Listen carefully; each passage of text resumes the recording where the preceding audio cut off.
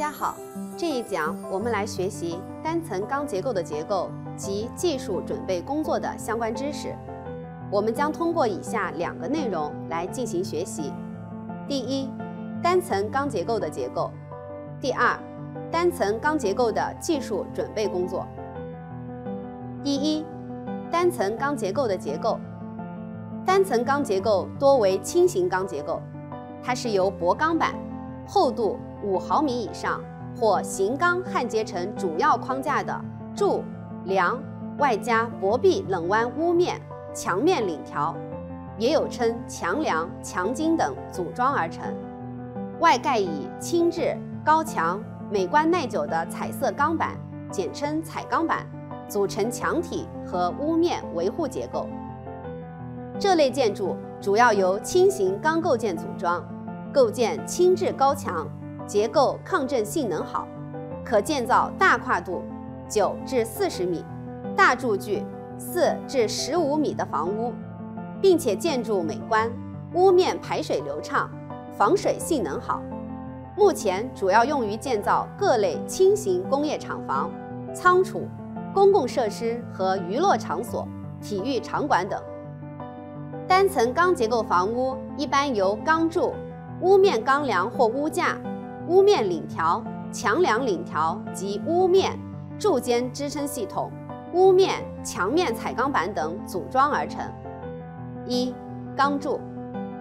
钢柱一般为 H 型断面，采用热轧 H 型钢或用薄钢板经机器自动裁板、自动焊接制成。其截面可制成。直条形和便截面形两种，断面尺寸由设计计算确定。钢柱通过地脚螺栓与钢筋混凝土基础连接，通过高强度螺栓与屋面钢梁连接，其连接形式有斜面连接图 A 和直面连接图 B 两种。二、屋面梁，屋面梁一般为工字形截面。根据构件各截面的受力情况，可制成不同截面的若干段，运至施工现场后，在地面拼装，并用高强度螺栓连接。三、檩条与墙梁。轻钢屋面檩条、墙梁采用高强镀锌彩色钢板，经滚压成型，其截面形状有 C 型和 Z 型。檩条可通过高强度螺栓直接连接在屋面梁翼缘上，也可连接固定在屋面梁上的檩条挡板上。四、屋面墙面材料。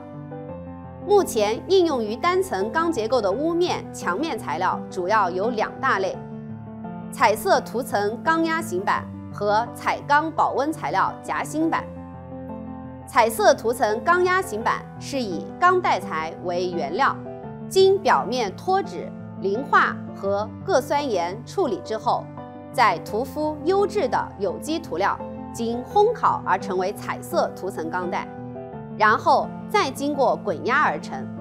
其色彩多样、施工方便和具有良好的力学性能，而且简化了防水措施。彩钢保温材料夹心板是一种超轻型的多功能建筑板材。该类板材其两面是彩色涂层镀锌钢板，中间则为保温材料。该材料具有优异的保温、隔热、抗震性能，而且可用自攻螺钉、膨胀螺栓、抽芯铆钉等紧固，可钉可去。特别是其色彩多种多样。板面平整，尺寸精度高，表面线条清晰。作为墙面、屋面板，则无需进行防水施工，是一种综合性能极佳的建筑材料。第二，单层钢结构的技术准备工作：一、编制单层钢结构安装施工组织设计；二、熟悉图样；三。钢柱基础及支撑面的准备。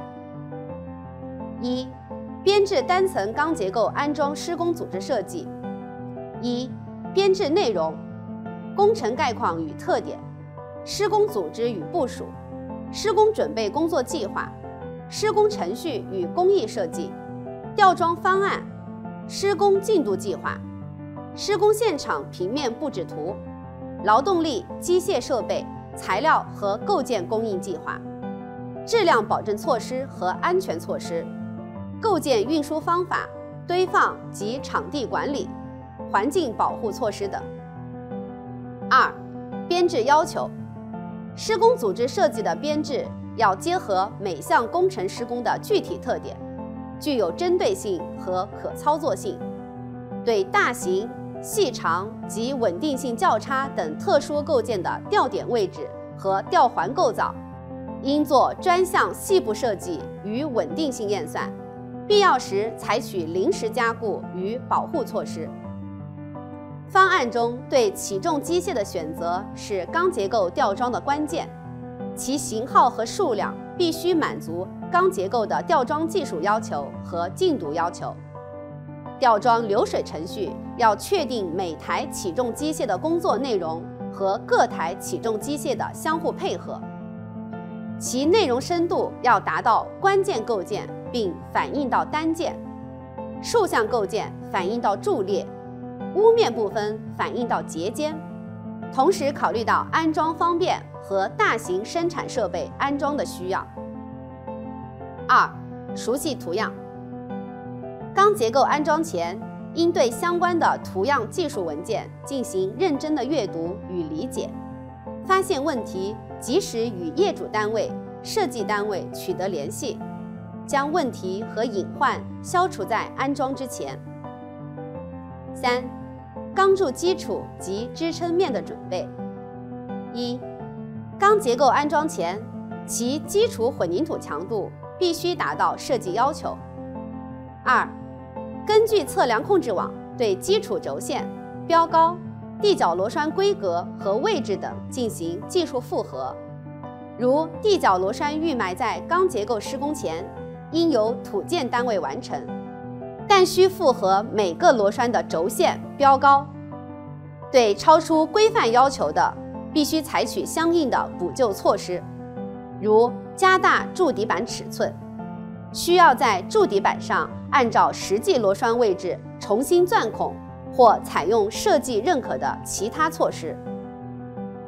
三、检查地脚螺栓外露部分的情况，若有弯曲变形、螺牙损坏的螺栓。必须对其进行修正。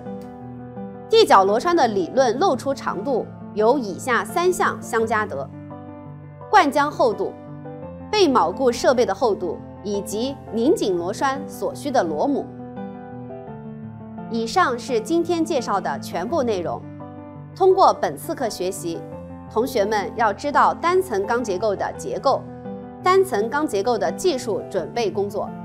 希望大家对这节课的内容进行理解性掌握，谢谢大家。